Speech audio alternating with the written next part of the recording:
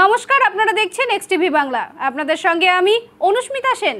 শুরু করছি X TV news প্রথমেই headlines headline sponsor by Gurukulam English medium school Barobisha Alipurduar admission দুই নয় স্বামীর ছুরির আঘাতে আক্রান্ত মহিলাকে দেখতে আগরতলা বিজেপি হাসপাতালে ছুটে গেলেন ত্রিপুরা মহিলা কমিশনের চেয়ারপারসন বর্ণালী গোস্বামী।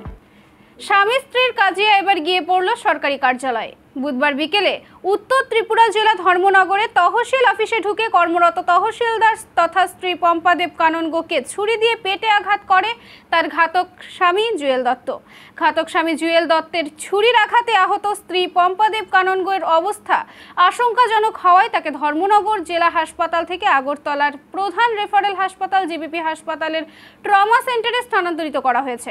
বর্তমানে তার চিকিৎসা চলছে আগরতলার প্রধান রেফারেল হাসপাতাল, জিবিপি হাসপাতালে। ঘটনার খবর পেয়ে ত্রিপুরা মহিলা কমিশনের চেয়ারপারসন বর্ণালী গোস্বামী আগরতলা জিবিপি হাসপাতালে ছুটে এসে আক্রান্ত মহিলার কাছ থেকে সমস্ত স্টেটমেন্ট খতিয়ে নিয়ে যান। ত্রিপুরা মহিলা কমিশনের চেয়ারপারসন বর্ণালী গোস্বামী বলেছেন বর্তমানে আক্রান্ত পম্পাদেব কাননগড় ঘাতক স্বামী জুয়েল দত্ত পুলিশের হেফাজতে রয়েছে। ঘটনার তদন্ত চলছে। ত্রিপুরা মহিলা কমিশন আহত তহসিলদার পম্পাদেব কাননগড় সঙ্গে শেষ পর্যন্ত থাকবেন এবং দোষী যাতে কঠোর থেকে কঠোরতম শাস্তি পায় তার ব্যবস্থা গ্রহণ করবেন ত্রিপুরা মহিলা কমিশন বললেন ত্রিপুরা মহিলা কমিশনের চেয়ারপারসন বর্ণালী গোস্বামী।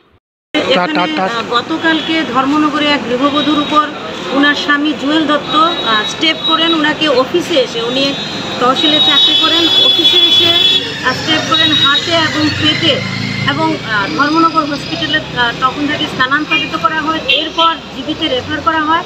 আজকে আমি জিবিতে এসেছি, সেই পম্পা দত্তকে, পম্পা দত্ত কাননগো পম- পম্পা দেব কাননগোতে দেখতে এবং তার অবস্থা সত্যি অত্যন্ত দুঃখজনক এবং তার সঙ্গে তাদের বিয়ের পর থেকেই সমস্যা, নানা কারণে সংসারে অশান্তি।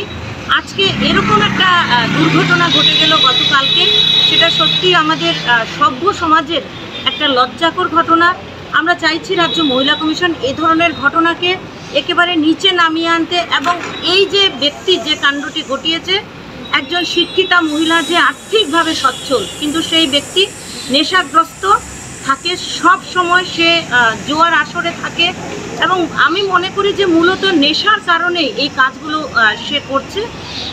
রাজ্য মহিলা কমিশন এই যে ঘটনাটি ঘটেছে যে অফেন্সটি সে ঘটিয়েছে সেই দোষী ব্যক্তি যেন শাস্তি পায় সেই দিকে রাজ্য মহিলা কমিশন সেই পম্পা দেব কাননগোর সঙ্গে একবারে শেষ অবধি থাকবে এবং একিউজড ব্যক্তি কিন্তু গ্রেপ্তারও হয়েছে এবং অবশ্যই সেই দোষী ব্যক্তির কঠোর সাজা হবে।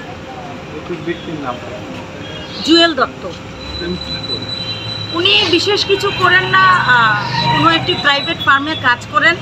মূলত পম্পা দেবীর রোজগারেই তাদের সংসার চলে এমন আমাদের কাছে খবর এসছে। কারণ উনি ওনার বাপের বাড়িতেই থাকেন। পম্পা পম্পা দেবী ওনার বাপের বাড়িতেই থাকেন তার স্বামীকে নিয়ে এবং গত বছর সেই জুয়েল দত্ত তার শাশুড়ির উপরও আক্রমণ করেছিল। তখন রাজ্য মহিলা কমিশনের কাছে তিনি একবার এসেছিলেন। তারপর কিছুটা সংসারে শান্তি এসেছিল। কিন্তু আবারও এই ধরনের ঘৃণ্য ঘটনা ঘটে গেল গতকালকে। ঘটনাটা করার কারণটা কি?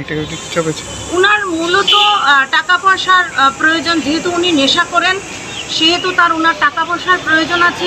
এছাড়া একটা সন্দেহের প্রবণতা তার স্ত্রীর প্রতি সব সময় আছে। অ্যারেস্ট হয়েছে কি উনি? হ্যাঁ অ্যাকিউজ অ্যারেস্ট হয়েছে। জুয়েল দত্ত এখন পুলিশ কাস্টডিতে আছে।